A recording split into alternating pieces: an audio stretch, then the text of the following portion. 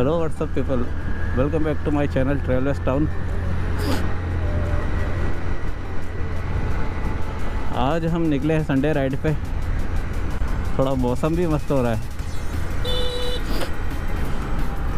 और जा रहे हैं नीलकंठ महादेव। ये करीब अजमेर से अराउंड 75 या 80 किलोमीटर है। तो लगभग एक घंटा करीब लग जाएगा पहुँचने में। अभी पेट्रोल भी डलवाना है।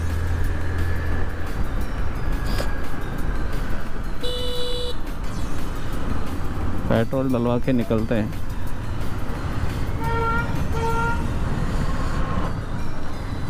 तो पेट्रोल भरवा लेते हैं। टंकी फुल फुल कर दो ये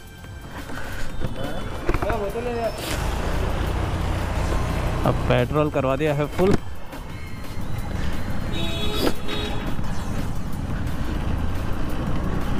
ज़्यादा दूर नहीं है तो ज़्यादा टाइम नहीं लगेगा। और ज़्यादा पेट्रोल की ज़रूरत भी नहीं पड़ेगी। इधर से निकल लेते हैं।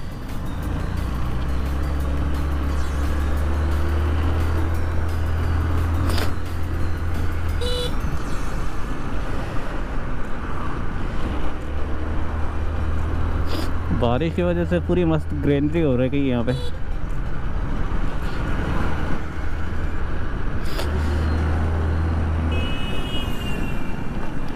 हमारे साथ आज है गौरव भाई। मेरा कज़न है।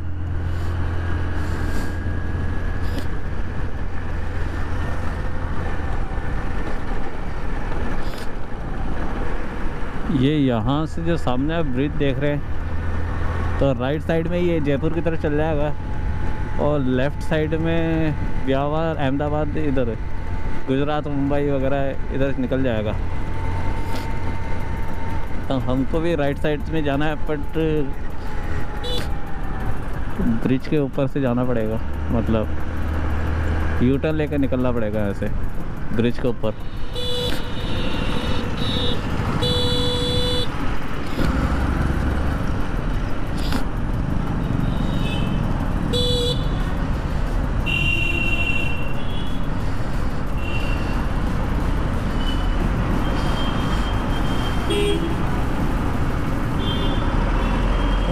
एंबुलेंस को निकलने दे पहले। एंबुलेंस के बीच में नहीं आना है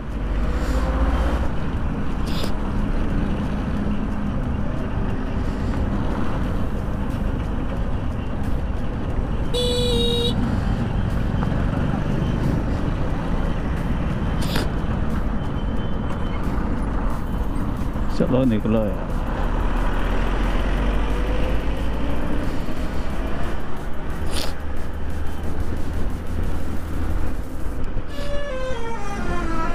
एंबुलेंस के सामने से हमेशा गाड़ी हटा देनी चाहिए। क्या पता किसी को कितनी इमरजेंसी हो।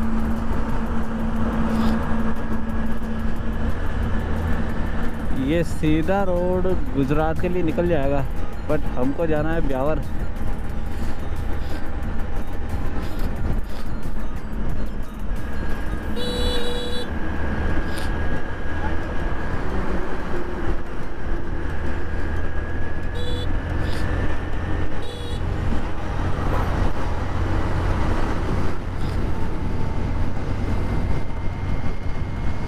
ये देखो इनको इतना रहता है रॉन्ग साइड से लेके आएँगे बस।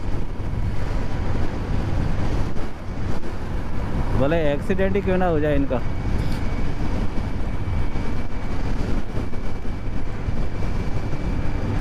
आज काफ़ी टाइम बाद लॉन्ग राइड पे निकला हूँ।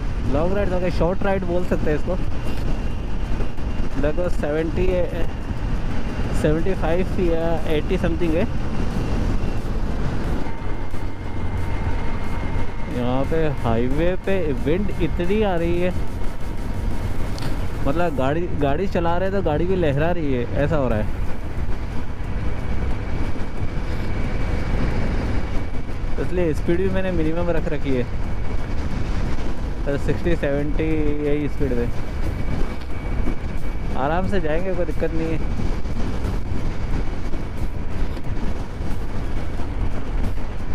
अगर वीडियो पसंद आए तो लाइक और सब्सक्राइब कर देना।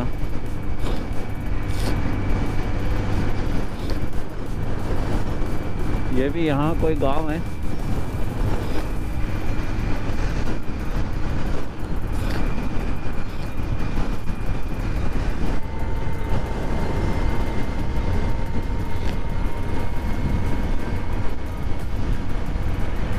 अभी लगभग ब्यावर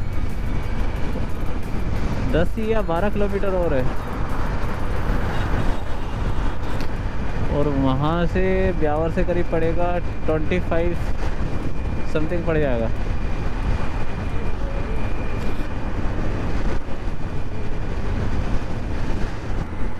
पहाड़ों पर कितनी ग्रीनरी है।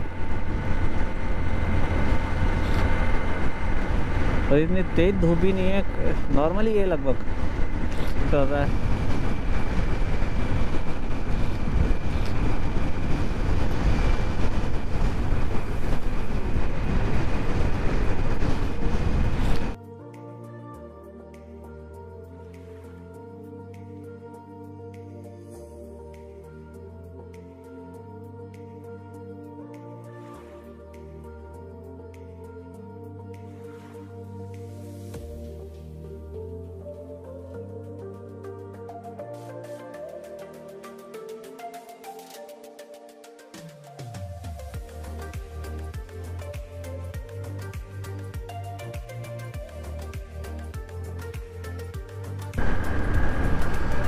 ब्यावर का टोल क्रॉस कर लिया है। ब्यावर हमने क्रॉस कर लिया है। यहाँ से लगभग 19 किलोमीटर और बता रहा है। अभी मैप लगाया था।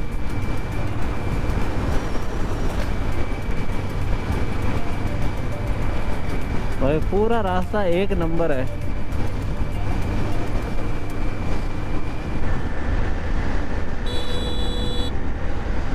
तो एंटिक एंटिक लोग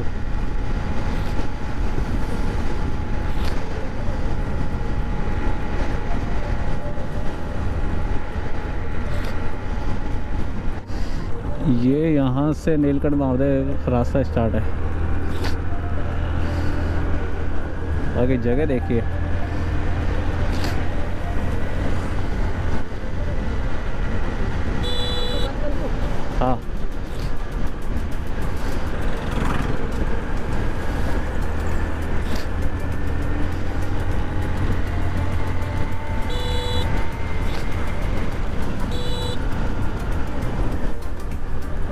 है तो काफ़ी भीड़ होगी यहाँ पे।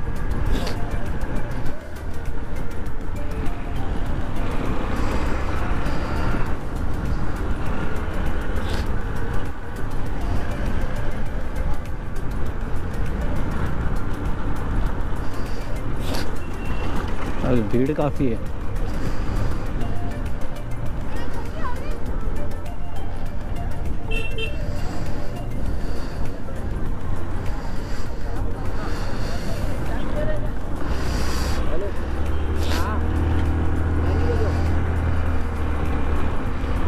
तो मेला है यार यहाँ पे। सावन का।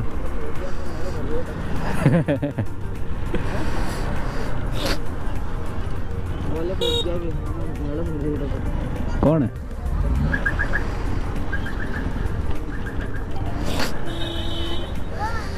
ये आ गए हम नीलकंठ महादेव।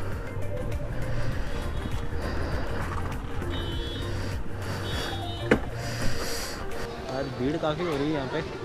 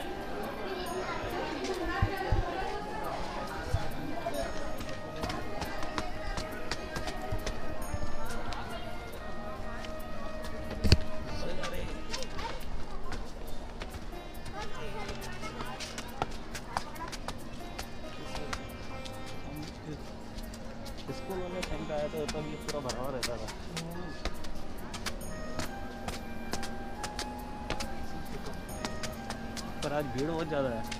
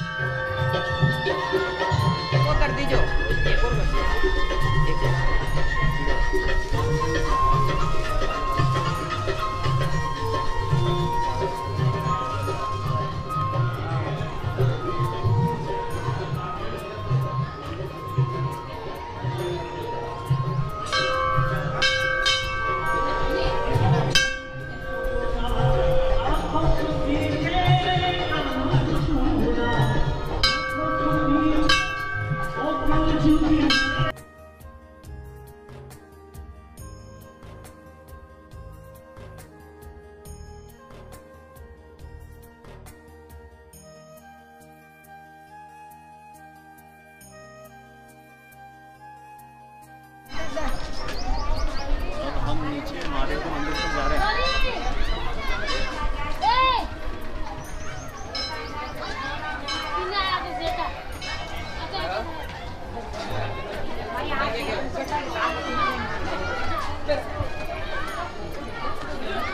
यहाँ का छोटा सा पार्क है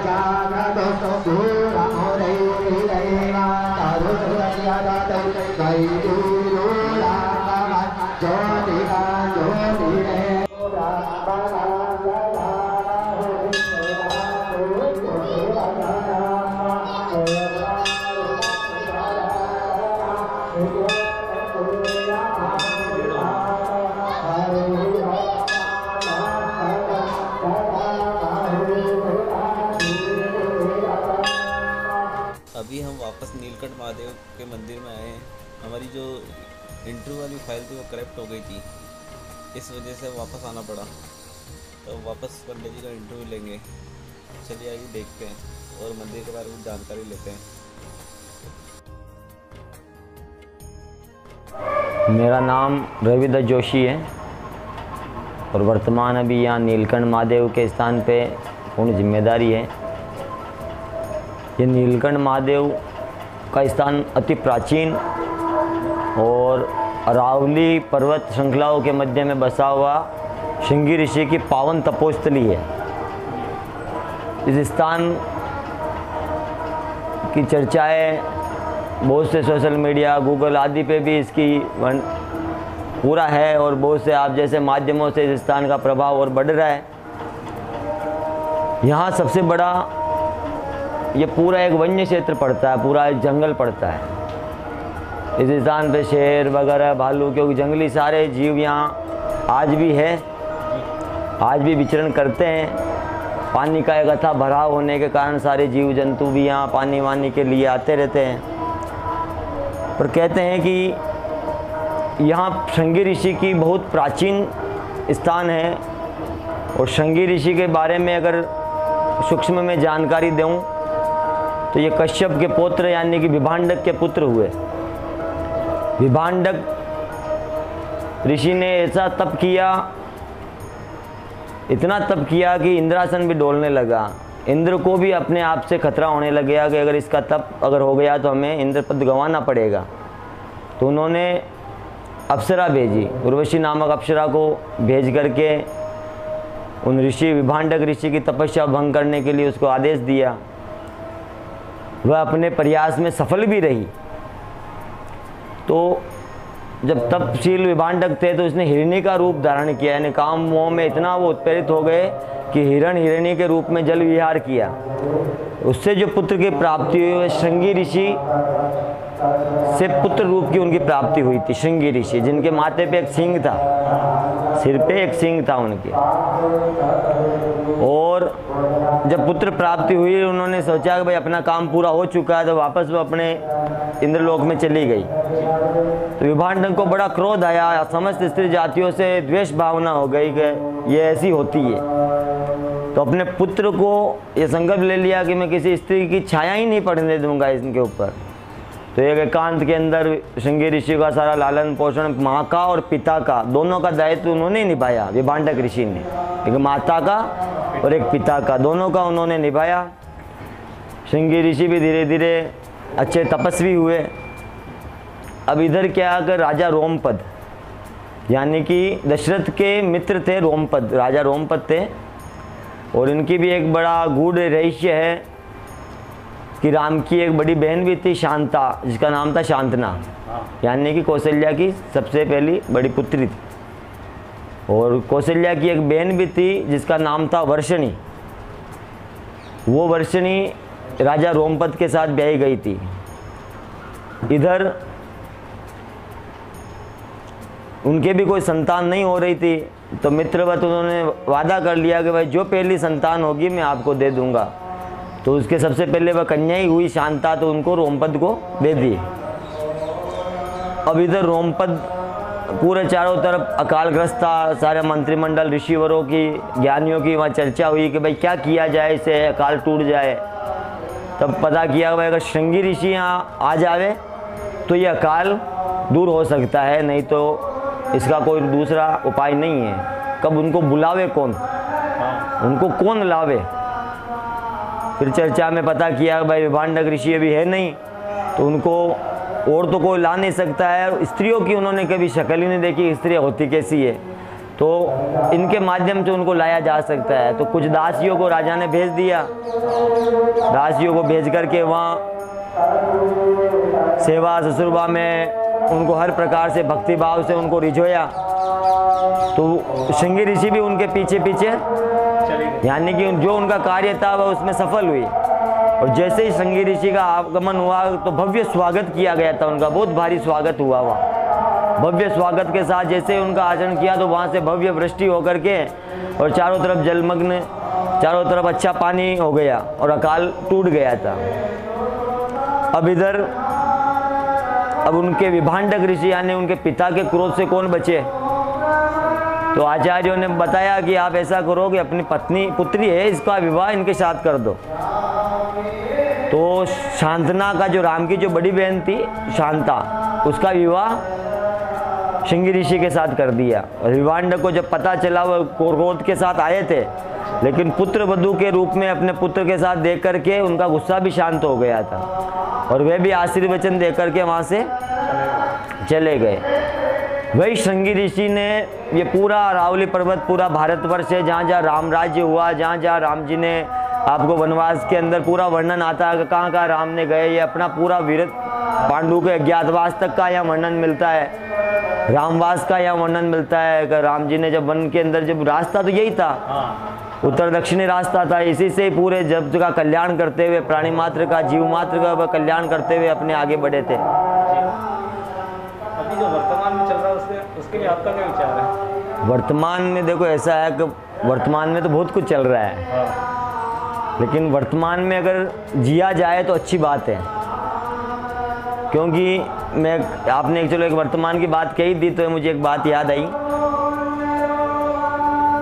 तीन ही काल बताए गए हैं। भूतकाल भविष्य काल और वर्तमान।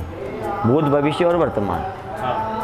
अब होता क्या है कि आज की जो पीढ़ी है आज की जो शिक्षा है, इसके विषय में मैं थोड़ा आगे बोलूँगा। लेकिन इसको कोई समझ नहीं पा रहा है। भूतकाल वह होता है जो बीत चुका है। जो बीत चुका है, यानी कि ये अनुभव है। उसमें हमें क्या अच्छा किया, क्या बुरा किया, हमें क्या कमी रही, हम क्या कर सकते थे, क्या नहीं कर सकते, ये ज्ञान हमसे प्राप्त हो जाता है। भूतकाल से जो बीत चुका है उससे चिंता में ग्रसित नहीं होना चाहिए। और भविष्य जो किसी ने देखा नहीं। भविष्य किसी ने देखा नहीं, फिर भी भविष्य के लिए लगे रहते हैं, ये, वो ये वो, ये, इससे क्या होता है? वर्तमान बिगड़ जाता है। और समय किसी का अधीन नहीं है, समय चक्र तो चलता रह रहा है, ये किसी के अधीन नहीं है। जो वर्तमान को नहीं समझेगा, जो वर्तमान में नहीं जिएगा, उसे भविष्य बन ही नहीं सकता। इसलिए भविष्य की निधि का निर्माण करने के लिए वर्तमान को जीना पड़ेगा। ये समय बहुत क्षण क्षण है, एक समय, ये पल पल भी बहुत भारी है। यानी कि आज आपने एक नींव रख दी या वृक्ष लगा दिया, उसकी एक समय अवधि होती है कि वो समय अवधि के अंदर वह वृक्ष फल भारी होकर के फल देने लग जाएगा। पर वह कब होगा? जब वृक्ष समय पे लगा दिया जाएगा। और भविष्य में सोच करके यार अभी बाद में लगा देंगे। तो अब सोचो कि वर्तमान में अगर लगा दिया होता तो भविष्य में जाकर के भूतकाल की चिंता नहीं करनी पड़ती। हाँ सही है। तो इसलिए समय का सदुपयोग करना सीखो। समय इम्पोर्टेंट है। ये किसी का अधीन नहीं है। अब इस समय को कैसे जिया जाए? अब आज के समय क्या हुआ कर ऐसा कर दिया खिचड़ी बना दी पूरी। ऐसी खिचड़ी बना दी कि किसी के समझ में नहीं आता। किसी को समझाओ तो वह समझता नहीं। क्यों? क्यों? इसका भारी दुष्परिणाम है। यानी कि आज से पहले अगर लिखा जाए तो विक्रमादित्य के समय से अगर चला जाए तो विक्रम संवत की स्थापना उसी समय से हुई थी। ये तो अपने पास में प्रमाण पड़े हैं। बाकी के पहले के प्रमाण तो जैसे नालंदा जैसे विद्या विद्यालय भी जला दिए गए थे, सब कुछ इतिहास को नष्ट किया गया था। लेकिन विक्रमादित्य को देखा जाए तो उनके पास नवरत्न थे। और वो नवरत्न ऐसे थे कि पूरी अखंड भारत की स्थापना में बहुत उनकी भूमिका थी। यहाँ थी कि देवता तक वो सहायता लेने आते थे उनसे। देवता भी उनसे सहायता प्राप्त करने आते थे। ऐसे विक्रमादित्य हुए। और आगे चल कर के बहुत से भारत में ऐसे वीर हुए, ऐसे महागुरु हुए धर्म गुरु हुए, जिन्होंने अपना सब कुछ निष्ठावर करके, नौशावर करके, त्याग भावना से देश को, राष्ट्र को सब कुछ दिया है। पर कारण ये हुआ है कि कुछ आक्रांताओं के मन में सदा से यही था कि भारत सोने की चिड़िया है, भारत सोने की चिड़िया है, भारत सोने की चिड़िया, लूटो, फूट डालो, राज करो, ये करो, वो करो। तो करते करते करते करते उन्होंने आक्रमण पे आक्रमण आक्रमण पे आक्रमण आक्रमण पे आक्रमण, इतिहास भरा पड़ा है, आपने सुना होगा, इतिहास का कभी पढ़ना। तो उनको कुछ प्राप्त नहीं हुआ, यानी कि अंततः उनकी हार होती थी। तब उन्होंने घूमते घूमते घूमते पता किया कि भाई क्या किया जाए। यानी कि इतना सब कुछ करने के बाद भी ये ऐसा है सब खड़े हो जाते हैं, ऐसा क्या है इसमें? आचार्य चाणक्य का भी बहुत आता है, जिन्होंने अर्थव्यवस्था, अर्थशास्त्र का निर्माण किया था। और वो अगर अर्थशास्त्र चाणक्य नियम के साथ अगर हर प्राणी मात्र अगर जीने लग जाए तो मैं चाहता हूँ कि शायद करेक्शन ये चोरी, डकैती, बलात्कार, ये पता नहीं आदि आदि जो वर्तमान में चल रहे हैं, क्योंकि उनको भोग, विषय वासना से लिप्त कर दिया गया है। ये आज हॉलीवुड बॉलीवुड जो दिखाओगे नंगा चित्र देखेगा वैसा ही आचरण होगा। जैसा पीवो पानी वैसा होवे वाणी। जैसा खाओ अन्न वैसा होवे मन। सही। जैसा होवे रंगत वैसी हो जैसी होवे संगत वैसी होवे रंगत। हाँ। तो ये सत्य है इसमें कोई ठुकला नहीं सकता इस सत्य को। अब जब इनके आक्रांताओं होने के बाद सब कुछ होने के बाद जब हुआ तो फिर क्या हुआ कि नरसंहार हुआ था। विद्वानों का नरसंहार किया गया। नालंदा जैसे बड़े बड़े विश्वविद्यालय जला दिए गए। अपने धार्मिक जितने भी मंदिर, मठ, जितने राज पुरुषों का जो चलता था, उन सबको नष्ट किया गया था। और अपने आप को सब कुछ बताने के लिए हम ही थे, हम ही ईश्वर हैं, हम ही सब कुछ हैं। ऐसे षडयंत्र देश पे रचना चालू हो गए थे। तो उस समय क्या चला था कि मौखिक विद्या, मारे गए थे, अच्छे अच्छे विद्वान, ब्राह्मणों की हत्या करी गई थी, गौ हत्या की गई थी तो नरसंहार चला था। अब नरसंहार को, अपनी संस्कृति को बचाने के लिए फिर क्या हुआ? कंठस्थ विद्या का ज्ञान हुआ, क्योंकि मूल तो बचा ही नहीं। वास्तविक जो मूल था, जो प्रमाण था, वो बचा ही नहीं। चित्रे चित्रे कर दिए, टुकड़े टुकड़ों में कर दिया उसको। तो फिर मौखिक विद्या चली। कब मेरे पास जो ज्ञान है, मैंने आगे दिया, उसको आगे दिया, आगे उसको आगे दिया, उसको आगे दिया, ऐसे करते करते इसमें एक प्रमाण भी आता है कि भाई जिसको एक वेद का, वो एक वेदी, कोई द्विवेदी हो गया, कोई त्रिवेदी हो गया, कोई चतुर्वेदी, ऐसे ब्राह्मणों में हमारी शाखा भी लगती है। वो एक ठीक है, व्यवस्था के हिसाब से उनका निर्माण हुआ, पर यहाँ वास्तविकता में अगर जाया जाए तो यहाँ आप विचार करो, और मैं तो हर व्यक्ति को विचार करने के लिए कहता हूँ कि जब बहुत से ऐसे ऋषि मुनि थे, ऐसे विद्वान थे, जिनको कोई योग्य मिला ही नहीं कि मेरा ज्ञान उसको मैं दे सकूँ। तो वो ज्ञान उनके साथ ही चला गया। कुछ ऐसे व्यक्ति थे जिनको पूरा ज्ञान नहीं मिल पाया। यानी मैं पूरी बात आपको कहूँगा, हु बहू, आपको ज़रूरी नहीं कि आप उसको वर्णन कर दोगे। नहीं, उसको मैं मिस्टेक हो जाएगी, कुछ ना कुछ त्रुटियाँ रह जाएगी। तो वो फिर मेरे से आया, फिर मेरे से आया। अब वहाँ से अब तक की कितनी त्रुटियाँ, कौन सुधार पाएगा? अब कोई हर बात का प्रमाण मांगे तो प्रमाण वो कहाँ से लाएगा? दूसरी बात कुछ महापुरुषों ने जैसे अपने पास आज भी है रसायन विद्या है तंत्र विद्या है पक्षी वगैरह सुकून ये आज भी चलते हैं। कोई ज्योतिष के जो अध्ययन है ना ये कभी गलत नहीं है। जो वास्तविकता सत्य है ना उसी पे प्रकाश डालना चाहिए। बाकी पे तो सब अंधविश्वास चल रहा है। दुनिया में सब अपना अपना व्यापार चला रहा है। पर मूल बात अपनी ये है कि जब ये सब कुछ होने के बाद भी उन ऋषियों मुनियों ने कि आत्मा अजर है मेरे आत्मा कभी मरती नहीं है।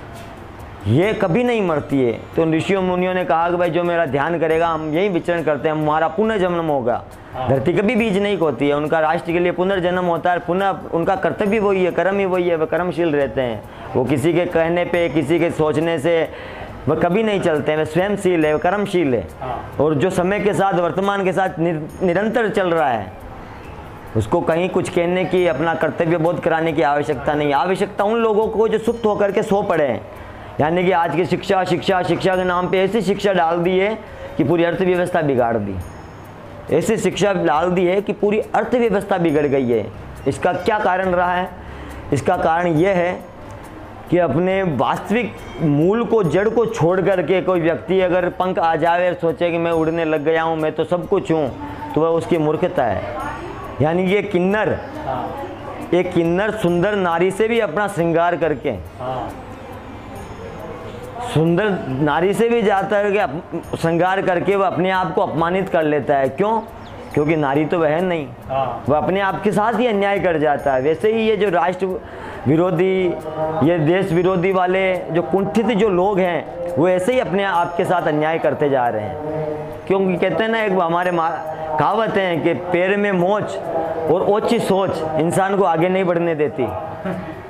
इसलिए ये सत्य है कि जिसके मन में अटक है, वही अटक रहा, बाकी कोई नहीं अटक रहा है। ये स्वार्थ, ये ये मेरा ये मेरा ये मेरा, ये स्वार्थ इंसान को अटक रहा है। मैंने ऐसे ऐसे पढ़ता भी हूँ, देखता भी हूँ और सामने हुए हुए महाभारत जैसी रचना पहले ही हो चुकी थी और किस लिए हुई थी महाभारत? एक जमीनी टुकड़े के चक्कर में। अगर पांडवों को शांति भगवान स्वयं कृष्ण ने जब जाकर के शांति प्रस्ताव रखा, भगवान स्वयं जब जा रहे हैं, समझा रहे हैं, और वो नहीं समझना चाहते हैं तो आप और हम तो होते ही कौन है, दुनिया को समझा देंगे। इसलिए ये कभी विचार मत करोगे वो अगला समझ जाएगा। नहीं, समझने वाला समझ जाएगा, नहीं समझने वाला नहीं समझेगा। वहाँ उस विषय में कभी नहीं पढ़ना चाहिए। बाकी धरती कभी बीज नहीं खोती है, एकांत चित्त होकर के अपने आप में विचार करना चाहिए। जो आज के कहते हैं ना, ये money is life life is money ये ऐसी बर्बादी कर दी है देश की, कि माँ बाप को भूल गए, अपना कर्म भूल गए, अपना संस्कार भूल गए, सब कुछ भूल गए। यहाँ तक कि लोग भगवान पे भी उठाने लग गए, शब्द भगवान क्या है? वो क्या होता है? ये तो सब पाखंड है, ये फलाना है, ये ढिगड़ा है। उनको मूर्खों को ये पता नहीं है, अब तो विज्ञान भी आ गया है, यहाँ नासा भी हमसे पूछता है, कि पंडित जी क्या ना, छाप नासा की है? और ज्ञान हमारा है। अब आप हनुमान चालीसा में पूछ पता कर लो कि भाई, सहस्त्र योजन पर भानु, लीन्यो ताई, मधुर फुल जानू। तुलसीदास जी ने पहले से ही रचना कर दी कि भाई यहाँ से सूर्य की कितनी दूरी है। ऐसे ऐसे प्रमाण हैं। संस्कृत से ही सब शब्दों की उत्पत्ति हुई है। ये आदि अनादि से चला आ रहा है और उसका प्रमाण भी मिल रहा है। ये नीलकंठ महादेव मंदिर में अति प्राचीन है। वर्तमान में मैं यहीं हूँ और यहाँ मेरा एक संकल्प भी है क्योंकि ये जगह बहुत रमणीक है, बहुत पौराणिक जगह है और बहुत चमत्कारिक जगह है यहाँ एक चमत्कारिक धूना भी है, सिंह ऋषि की तपोस्थली है, जिसकी महिमा अपूर्व है ये स्थान पे मैं आने के बाद एक ही लक्ष्य रहा है, एक ही संकल्प रहा है कि मैं वैदिक गुरुकुल की पुनर्स्थापना करूँ। वर्तमान में मैं यहाँ, मेरे पास चार पाँच शिष्य हैं, जो निशुल्क कर्मकांड ज्योतिष आदि का पूरा ज्ञान ले रहे हैं, जिसके साथ साथ वह जीव, रासायनिक, ये जड़ी बूटी, जैत, जो भी हो, यानी एक व्यक्ति ऐसा कर्मशील हो जाए कि उसको किसी पे डिपेंडेंट नहीं रहना पड़े। जब व्यक्ति स्वयं कर्मशील हो जाएगा तो उसे किसी पे डिपेंडेंट रहने की आवश्यकता नहीं पड़ेगी। दूसरा है, अपने वास्तविकताओं को और मूल को समझे। इसके लिए मैं अग्रसर हूँ। आने वाली पीढ़ी, जो हुआ जो हुआ, लेकिन अब जो आगे पीढ़ी आए उसको ऐसा ज्ञान नहीं मिले जिससे अपना धर्म, अपना मूल स्वतः नष्ट हो जाए। अपना जो वास्तविक है, अपने जो पूर्वजों ने जिस देश के लिए अपनी आन, बान, शान की मर्यादा रखने के लिए सर्वस्व लुटा दिया हो, गौ रक्षा के लिए, धर्म की रक्षा के लिए, प्रकृति की रक्षा के लिए जिन्होंने अपना सब कुछ खोया हो, और ऐसे आक्रांता आकर करके अपने धर्म का दुरुपयोग करें किसी एक दूसरे को टारगेट कर लें। धर्म के नाम पे बेरूपियों का चोला धर करके देश को बदनाम करने की कोशिश करें। तो मैं सभी संगठनों से कहना चाहता हूँ कि भारतवर्ष में ऐसे ऐसे संगठन हैं। अलग अलग शिव शक्ति है, कोई बजरंग सेना है, कोई क्या है, कोई क्या है, आरएसएस है। ऐसी बड़ी शक्ति है भारत के पास में। अगर वह सारे एकजुट हो जाए, बिना किसी का इंतज़ार किए, बिना किसी का द्वेष भाव रखे हुए तो मैं ये कह सकता हूँ कि पुनः देश को, भविष्य का निधि और अखंड भारत को निर्माण होने से कोई नहीं रोक सकता। करना क्या है कि वैदिक गुरुकुल की पुनर्स्थापना हो। हर व्यक्ति को, हर बच्चे को यही ज्ञान दिया जाए, रामायण का ज्ञान कराया जाए, पिता का, पुत्र का क्या कर्तव्य होता है, बेटे का क्या कर्तव्य होता है, अपने घर के प्रति, अपने परिवार के प्रति, जैसे राम जी ने रख के बताया था। राम जी ने पूरा रख के बताया था। वो इतिहासों में पढ़ाई में अगर ये डाल दी जाए, ये अकबर बाबर बिरबल महान से पढ़ा करके अपने वीर पुरुषों को ऐसा अपमान किया गया है, जिसको कोई बोलने वाला नहीं है। बोलता है खाली। करने के लिए कोई अग्रसर नहीं है। इसलिए किसी का इंतज़ार मत करो। मैं तो खुद अकेला निकल चढ़ा हूँ। मेरे को किसी के पीछे मैं नहीं चाहता हूँ मेरे पीछे फौज हो। मुझे कोई आवश्यकता नहीं है। आवश्यकता उसको होगी जिसको कुछ स्वार्थ हो। मैं निस्वार्थ निकल पड़ा हूँ। मेरे पीछे कितना होगा ये मुझे भी पता नहीं है। पर सबसे पहला मेरा ये लक्ष्य हो कि गो की सेवा हो। गो सेवा कैसी हो? उस पर विचार हो। जैसे आज गौशाला बहुत है। मैं किसी का अपमान नहीं करना चाहता हूँ कि भाई कोई गौ सेवा के नाम पे कहा रहा है। लेकिन हाँ बहुत से ऐसे गोरख धंधा भी कर रहे हैं। गौशाला इतनी होते हुए भी गाँव में इतनी सुनी गायें घूम रही है, इसका क्या कारण है? इस पर प्रकाश डाला जाना चाहिए। गाँव के प्रमुख सरपंच, पंच या ऐसे बुद्धिजीवी व्यक्तियों को मैं कहना चाहता हूँ कि अब आप खुल के आगे आवे। मैं आपके माध्यम से आह्वान करना चाहता हूँ सब व्यक्तियों का, चाहे कोई भी संगठन हो, धर्म का हो, आरएसएस हो, बजरंग दल हो, और भी संगठन हो जो देश के प्रति लिए हैं। बहुत से अखाड़े हैं जो संत ऋषि मुनि अपने अखाड़े पे बैठे हैं। मैं उनको भी कहना चाहता हूँ कि आप भी अब जाग जाओ। आपका कर्म क्या है? ब्राह्मणों को भी मैं कहना चाहता हूँ कि आप भी अपने अस्तित्व को पहचानो, द्वेषता मत रखो। ये जब सब अपने मूल को पहचानेंगे, यानी कि आज अर्थव्यवस्था क्यों खराब हुई? कि गौ माता को सब भूल गए, धंधा खोल लिया, गौ माता के नाम से व्यापार चालू हो गए। बहुत सी जगह गौ सेवा हो रही है, वहाँ कोई चंदा भी नहीं मांगा जा रहा। बहुत से ऐसे पुरुष योगी बैठे हैं जो अपना सब कुछ खो कर के यानी कि अपने पेट की भी उनको चिंता नहीं है, फिर भी वो गौ सेवा कर रहे हैं। ऐसे ऐसे बैठे हैं। उनको कोई प्रकाश नहीं डाल रहा है। प्रकाश वहाँ डाला जा रहा है जहाँ सब कुछ है। इतना भरा पड़ा है कि वहाँ कोई आवश्यकता नहीं है। तो ऐसा माध्यम बनना चाहिए कि नींव से नींव, जिस प्रकार ये मदरसे ये चलाते हैं ना, फंडिंग से उसी प्रकार मंदिरों के पैसों से धर्म की रक्षा में लगना चाहिए। जिससे वे तीन चीज़ें फ्री कर देनी चाहिए, शिक्षा, पानी और अन्न। ये तीन चीज़ को फ्री कर देना चाहिए, देश को इसका टैक्स भी फ्री कर देना चाहिए, बाकी और कुछ ज़रूरत नहीं है। अब शिक्षा शिक्षा के नाम पे जो ये संस्कृति बिगाड़ दी है, पूरी अर्थव्यवस्था बिगाड़ दी है, क्यों बिगड़ी है? कि पहले सबका कार्य चल रहा था, खाती का भी चलता था, तेली की भी चल रहा था, नाई का भी चल रहा था, एक व्यवस्था थी। आज सब रिफाइनरियाँ लग गई वो तेली की रिफाइनरी पेक आती है, पिपा आता है, घर पेक आ जाता है ऑनलाइन आ जाता है बेचारा, वो गाड़ी वाला, मक्खियाँ उड़ाता ही रह जाता है। उसको कोई पूछ ही नहीं रहा, शुद्ध है जबकि, शुद्ध चीज़ अपने को मिल रही है, फिर भी अपन खा रहे हैं जेब स्प्रे केमिकलों का दिन रात ये स्प्रे तैयार कर रहे हैं। किसानों को सिर्फ़ बुलगलाया जा रहा है। आने वाले समय में ऐसा हो जाएगा, ये देश बंजर हो जाएगा, ये केमिकली केमिकल से कि स्वयं के लिए शुद्ध चीज़ खाने के लिए नहीं बचेगी। इसलिए मैं सबको कहना चाहता हूँ कि जाग जाओ, समय है। किसी का इंतज़ार मत करो, स्वयं को अपना लो। ये मीठे जहर से बच जाओ। अपने प्रत्येक, अपना पूरा इतिहास जानो कि किस तरीके से पहले खेती होती थी कैसे उर्वरिक रासायनिक ऐसे नीम है, गोबर है, गोमूत्र है इन शुद्ध चीज़ों का उपयोग करो। ये बहुत बहुत रहस्यमय गुण है, इनमें छिपे हुए हैं। बाजारी दूध वगैरह, ये चीज़ों को आप बंद कर दो, शुद्ध चीज़ का प्रयोग करो। मेरा यही लक्ष्य है इस धरती के ऊपर कि मैं वैदिक गुरुकुल की स्थापना करूँगा। चाहे धारा कोई भी हो, चाहे तीस से हो, चाहे पैंतीस से हो, चाहे कोई भी कानून हो, मुझे धर्म का और राष्ट्र का, कहते हैं ना, शस्त्र और शास्त्र, दोनों का हम ज्ञान देंगे। उस व्यक्ति को हर प्रकार का ज्ञान मिलेगा, चाहे संगीत में रुचि है तो संगीत का ज्ञान जा, रासायनिक में रुचि है तो रासायनिक ज्ञान ले, मंत्र में रुचि है तो मंत्र को पढ़, शिक्षा में है तो शिक्षा में जा। उसको किसी भी तरीके से अपूर्ण नहीं रखा जाएगा।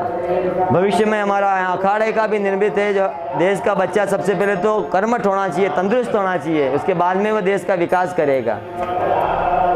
कि कहते हैं ना कि निर्मल मन जन सोई मोई पावा, मोहे छल छिद्र कपट नहीं भावा। इसमें भगवान साफ़ कह रहे हैं कि निर्मल मन वाला व्यक्ति ही मुझे प्रिय है। जिसके मन में छल भरा हो, कपट भरा हो, ऐसे व्यक्ति मुझे अप्रिय नहीं है। ऐसे व्यक्तियों को मैं संगी नहीं रखता। और तप क्या है? सबसे बड़ा तप क्या बता दिया है? कि सांच बराबर तप नहीं, और झूठ बराबर पाप। जहाँ के हृदय सांच है प्रभु, ताँ के हृदय आप। यानी कि एक ऐसी तपस्या है, सत्य की, जो इस पे आचरण करने मात्र से ही भगवान उसके हृदय में निरंतर वास करता है। वह जो कह देता है, वह सत्य हो जाता है। अब आज के समय में क्या बहुत से ऐसे चल रहे हैं कि ये साधना, वो साधना, इसके करने से ऐसे हो जाता है, उसके समय में, क्योंकि ये कलयुग है साहब। कलयुग में कुछ नहीं चलने वाला है। क्योंकि भगवान शिव ने सब किलित कर दिए थे, कलयुग को देख करके तो हमसे भी ज़्यादा खतरनाक हो जाएँगे। देखा नहीं क्या भस्मासुर का सीन भस्मासुर ने शिव से वरदान मांगा था कड़े का जिस पे हाथ रखूँ, भस्म हो जाए, और वही महादेव पे प्रयोग कर रहा है। कि मैं तो तुम्हारे पे रखूँगा। तो ये है कलयुग है। ये समय नहीं है। इसको देखते हुए भगवान ने पहले ही, क्योंकि आज न तंत्र चल रहा है ना मंत्र चल रहा है ना यंत्र चल रहा है। क्या चल रहा है? षडयंत्र। एक सबसे बड़ा यंत्र चल रहा है षडयंत्र चल रहा है। अब इस षडयंत्र से बचना है, और सबसे बचना है तो अब आत्मिक ज्ञान होना आवश्यक है। कहते ना वेद पढ़ने से कुछ नहीं होता वेदना को पढ़ो। प्यासे को पानी की आवश्यकता है उसको पानी ही पिलाओ। अब उसको पानी की आवश्यकता है वह प्यास से मर रहा है बिलख रहा है और उसको अगर आप कहोगे ये पकवान खा तो उसको पकवान से नहीं पानी से। तो इसी पानी से एक मेरे को बात याद आई। यानी अकबर के समय की।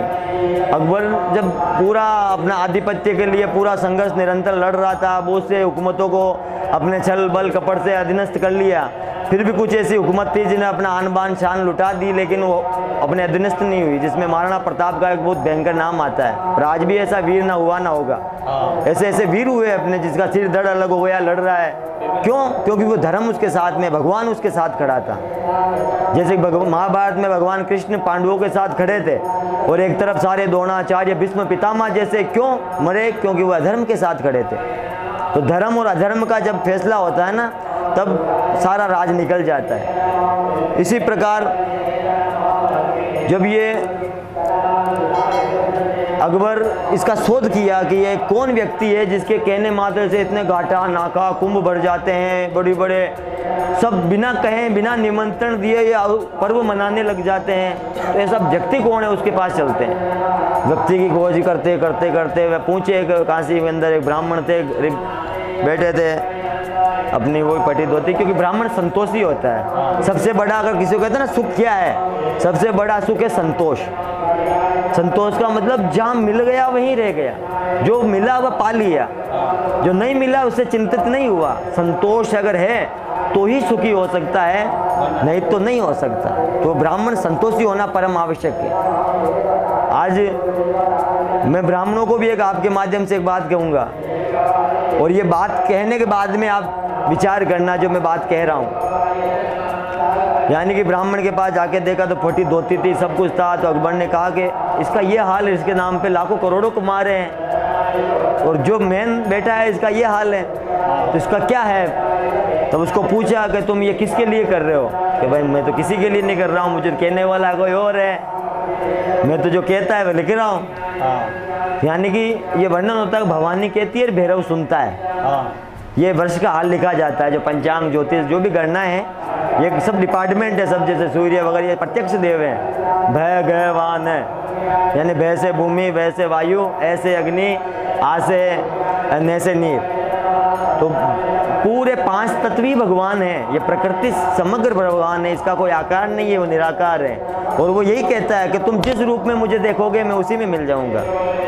तो इस विषय में तो कभी मत जाओ कि वो ऐसा है वो उसका ऐसा है। ये तो ठीक है एक, अपने आप में एक तर्क ऐसा डाल दिया कि ताकि ये इसमें लड़ते रहें मरते रहें और हम अपना काम करते रहें। हम ये नहीं कहेंगे कि तुम जिसको मानो मानो।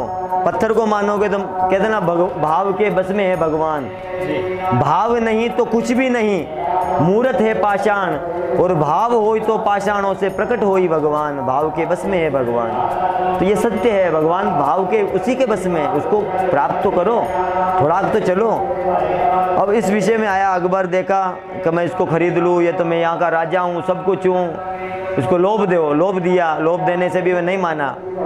कि भाई मैं तुम्हारे लिए कैसे कर सकता हूँ? मैं तुझे क्या ही हो रहा है, तुम तो पता नहीं क्या लिखवा रहे हो मुझे। मानी कि वही विषय था कि इसको बदल दो। यानी कि शिक्षा के ऊपर अगर प्रहार कर दिया जाएगा तो आने वाले समय में ये अपने गुलाम हो जाएँगे। ये बड़ा षड्यंत्र था उनका। लड़ाई करके देख ली, सब कुछ षड्यंत्र करके देख लिया, हाथ कुछ नहीं लगा। वापस वो के वही, कभी महाराणा जग जावे तो कभी पृथ्वीराज चौहान जग जावे। कभी झांसी की रानी जग जावे तो कभी मंगल पांडे जग जावे। कभी सुभाष चंद्र बोस जग जावे। तो ऐसे वीर पुरुष धरती खाली नहीं होती है, आज भी जगेगी और जग रही है। वापस कोई ना कोई वीर जन्म लेगा और अपने देश के लिए अपना इतिहास अमर कर जाएगा। कहते ना कि इतिहास पढ़ो, अरे वो तो पढ़ तो लो, तुम क्या करोगे? तुम्हारा क्या इतिहास होगा? तुम्हारे आने वाली पीढ़ी क्या कहेगी? मेरा बाप डरपोक था, हाथ में चूड़ियाँ पहन के सब कुछ है गया। ये कहेगी आने वाली पीढ़ी। लेकिन ये कभी नहीं हो। तो अकबर ने जब उसको इतना प्रलोभन दे दिया तो भी वह नहीं माना। क्यों नहीं माना? क्योंकि वह अपने धर्म के साथ, अपने कर्म के साथ वह विश्वासघात नहीं कर सकता था। उसको तो वो चलाने वाला था, वो ही देता था और वास्तविक जानता था कि उसकी आने से पहले कोई मुझे नहीं मार सकता। उसकी इच्छा के बगैर पत्ता भी नहीं हिल सकता था। अकबर ने लोभ दिया कि तुम ये ले लो, आधा राज ले लो, सब कुछ ले लो, फिर भी नहीं कहा। कि भाई नहीं। इतना कहने के बाद भी जब उसको बार बार कहा कि मैं देख राजा हूँ, मैं ये कर सकता हूँ, मैं तेरा, मैं ये कर सकता हूँ, तेरा, मैं तुझे मार भी सकता हूँ। तो राजा बोला, तू कौन होता है मारने वाला? वो मारने वाला, वो कौन करने वाला? तुझे तेरा ही पता नहीं है, तू कब मरेगा? तू तेरे अंदर भय बैठा है। तो तेरा खुद को पता नहीं है, तू क्या करेगा? तो बार बार मानने पर कहा कि राजा दल अकबर, सुन, मेरी बात सुन। तो इस जल के लोटे की क्या कीमत समझता है? एक जल का लोटा लाया, जल का लोटा भर के, और राजा अकबर को कहा कि तू इसकी क्या कीमत आंकता है? कि ये मेरे लिए कुछ भी नहीं। ये कीमत मेरे लिए कुछ भी नहीं है। ये तो एक आवाज़ नहीं दूँ, तब तक तो पता नहीं क्या आ जावे, पूरा समुद्र बना दूँ मैं। कि अच्छा राजा, ऐसा ही है? कि हाँ ऐसा ही है। कि चल ठीक है। अब ये विचार कर तुम बहुत रेगिस्तान के अंदर फंस गया। दूर दूर तक तेरे को कोई जल दिखाई नहीं दे रहा है और तेरे को जल की आवश्यकता है, नहीं तो तेरे प्राण अवरुद्ध हो सकते हैं। उस समय में मैं मिल जाऊँ और मेरे हाथ में ये जल का लोटा हो तो तुम इसका क्या मूल्य दोगे? कि अगर ऐसा ही विचार है और अगर ऐसी स्थिति अगर मेरी आ जाए तो मैं उचित मूल्य तुम जो मांगोगे, वह मैं दूँगा। पर मुझे वह जल पीना है। कि अच्छा राजा मान लो फिर भी मैं उस मूल्य में जल नहीं दूँ। फिर आप क्या करोगे? तो और बढ़ाऊँगा वो कितना लेना चाहेगा मैं उसके मुख पे छोड़ दूँगा। तो फिर भी अगर वह नहीं, नहीं लेना चाहे तो फिर मैं अपना आधा राज दे दूँगा। क्या दे दूँगा? आधा राज दे दूँगा। क्यों? अच्छा राजा मान लो मैं फिर भी नहीं दूँ तो। कि अगर ऐसी आपत्ति आ गई है और मैं इस जल के बिगड़ अगर मर रहा हूँ अगर मैं मर ही रहा हूँ मेरे प्राण अवरुद्ध हो रहे तो मैं उसको पूरा राज्य भी देने के लिए तैयार हूँ। क्यों अच्छा राजा? और अगर मैं फिर भी ना दूँ तो क्यों राजा फिर ब्राह्मण देवता मेरे सामने फिर दो ही प्रश्न बचेंगे। या तो मैं उसे बलपूर्वक प्राप्त करूँगा। बलपूर्वक उसे प्राप्त करूँगा, पी जाऊँगा। या फिर मैं तुम्हारे हत्या कर दूँगा। या फिर धन प्रलोभन तुम जितना लेना चाहो लेकर के मुझसे ये तब कहा राजा, बस, इतनी औकात है तेरी। हे अकबर, इतनी औकात है तेरी, एक जल के लोटे जितनी औकात नहीं रही तेरी। अगर मान ले मैं फिर भी बने देकर उसे गिरा दूँ तो फिर तू क्या करेगा? तुरंत कदमों में लौट गया वह अकबर। उस ब्राह्मण देवता के कदमों में लौट गया। कि राजा है तेरी, इतनी औकात है, एक जल की कीमत तू क्या आंक रहा है? और तू मुझे खरीदने आया है? तू मुझे खरीदने आया है? जा, बहुत से आए होंगे, तू किसी को नहीं खरीदा खरीद जा, जो व्यापारी बैठे हैं। जो धन के भूखे बैठे हैं ना, उनको खरीद। ताकि हमारे को भी पता चले कि कितने ऐसे व्यापारी बैठे हैं जो धन के लोभ में, धर्म के नाम पे अर्थव्यवस्था बिगाड़ रहे हैं। यही है, इसलिए जीवन को जियो और हर ब्राह्मण को संध्या वंदन और वेद गायत्री का पाठ करना चाहिए। गायत्री मंत्र का नित्य जाप करो, वही उसका लिए मूल जड़ है। अपने कर्म पे आओ। और ये क्यों हो रहा है? क्योंकि गौ सेवा, ब्राह्मण और गौ का एक संबंध होता है। तो ब्राह्मण सबसे पहले अपना दैवित्व भूल गया, अपना कर्म भूल गया है। क्षत्रिय अपना कर्म भूल गया है। वैश्य अपना कर्म भूल गया है, शूद्र अपना कर्म भूल गया है। यानी ब्राह्मणों से मुखमा सिद्धभाव राजन्य शत्रु जायते यानी कि एक श्लोक है ये। ये पूरा शरीर है। ये क्या है? मुख ब्राह्मण है। ये क्या हुए? क्षत्रिय हो गए या जो धर्म के लिए उठा वो क्षत्रिय हो गया। ये क्या है? वैश्य हो गया, पेट। और ये हो गया शूद्र। यानी कि अब आप विचार करना, कहते हैं ना, ये छुआछूत करते हैं, ये करते हैं, फलाना करते हैं, ये जो नए नए आर्मी से, भीम सेना और पता नहीं क्या क्या सेना बना ली अपने अपने नाम से। इनको ये पता नहीं कि वास्तविकता को पहचानो। अब आप एक विचार करना कि इसमें खाया, यानी कि ये कर्म है। इससे अगर आप नहीं बोलोगे, इससे आप नहीं कहोगे तो ज्ञान नहीं होगा, विवेक नहीं होगा। ये पूरा एक विवेकशील है, ऊपर का सिर। इसे ब्राह्मण है। ये भगवान विराट स्वरूप, भगवान नारायण के मुख से ब्राह्मण की उत्पत्ति हुई। और उनके हाथों से कौन उत्पन्न हुए? क्षत्रिय। पेट से उत्पन्न हुए वैश्य। और भगवान के पैरों से उत्पन्न हुए शूद्र। यानी कि पैर अब किसको काटना चाहोगे आप? ब्राह्मण को काटोगे, क्षत्रियो को काटोगे, शूद्र को काटोगे या वैश्य को काटोगे? ये शरीर खड़ा है। आज कटे हुए पड़े हैं, चारों से अलग पड़े हैं। आज चारों अंग अलग पड़े हैं और उस अंग में भी ऐसे अंग विभिन्न कर दिए गए हैं। ये स्थिति है देश की। यानी कि मुख में खाया हुआ ये संचित करेगा वैश्य। तो ये क्या दुर्पात करेगा क्या? कभी भेदभाव नहीं करेगा? ये यहाँ भी पहुँचाएगा भोजन, यहाँ भी पहुँचाएगा। शूद्र का ये शूद्र इसको क्यों बोला गया है? सारा भार इसने जैन रखा है। पूरा भार इसका इसका इसका, ये तो ये चार वर्ण हैं। जातियाँ कुछ नहीं है। जातियाँ तो बना दी गई थी। चार ही वर्ण हैं। चार ही आश्रम है।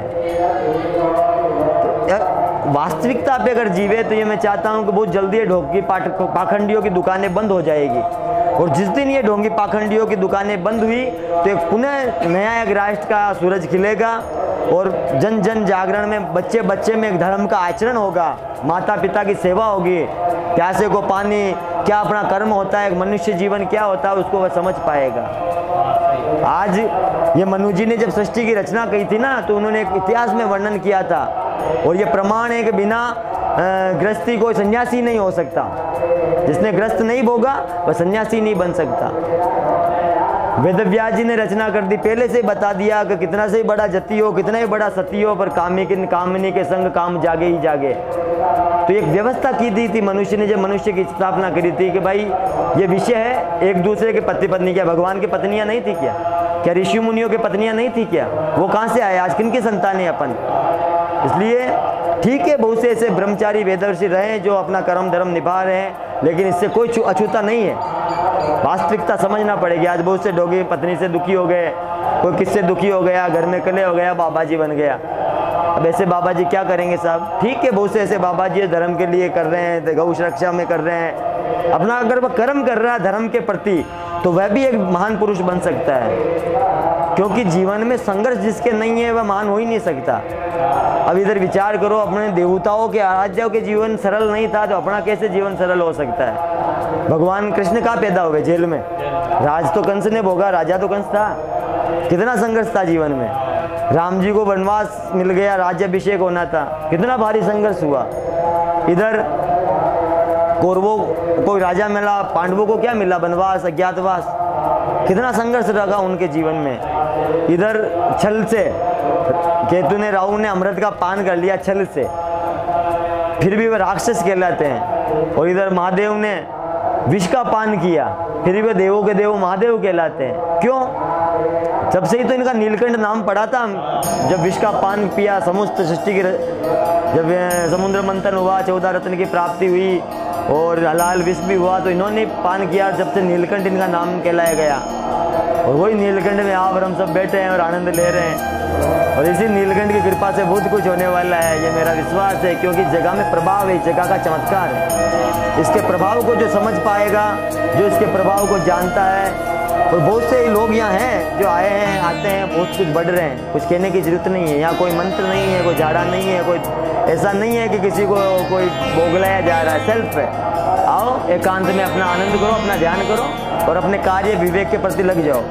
जैसे वो कहते हैं ना, वो नीम करोली बाबा फेसबुक का वो सबसे पहले आया। कुछ नहीं था खाली हनुमान चालीसा का पाठ किया आज वर्ल्ड के अंदर फ़ेमस हो गया। तो ये अध्यात्म है अध्यात्म को अपने आप से मिलो, अपने आप की खोज करो। हर व्यक्ति एक डिफरेंट होता है। ये फिंगरप्रिंट और आँखों की पुतलियाँ, और वो करो, पूरे वर्ल्ड के अंदर लोगों मिल नहीं पाएगी। पूरे वर्ल्ड के अंदर अगर किसी की पुतलियाँ और ये फिंगरप्रिंट मिल जावे तो साला विधाता ही कौन होता है? यही तो उसकी रचना है।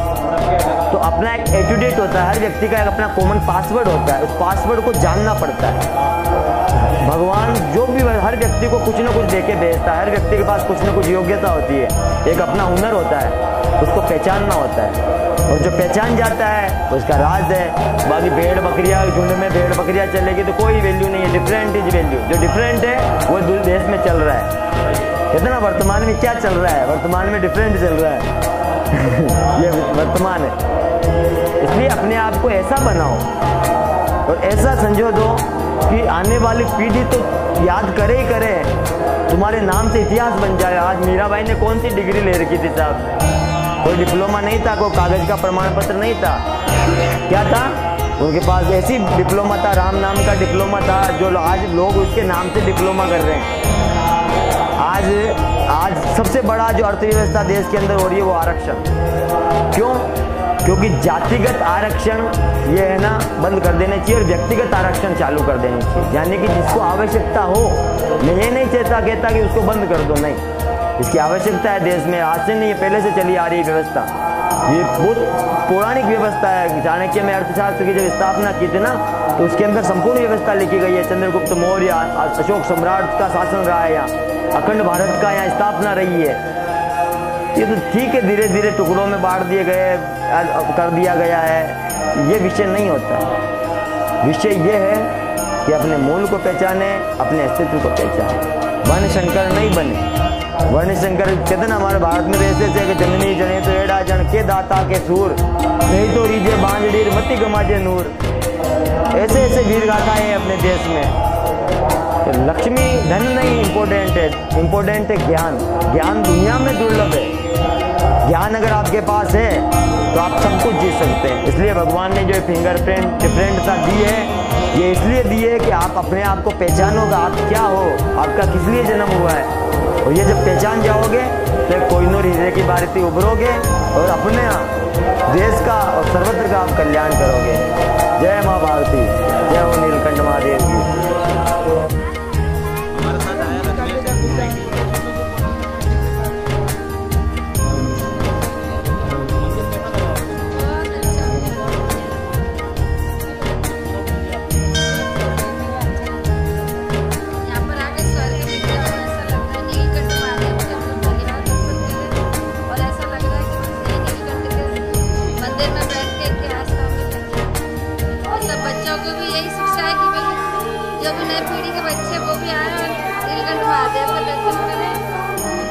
करें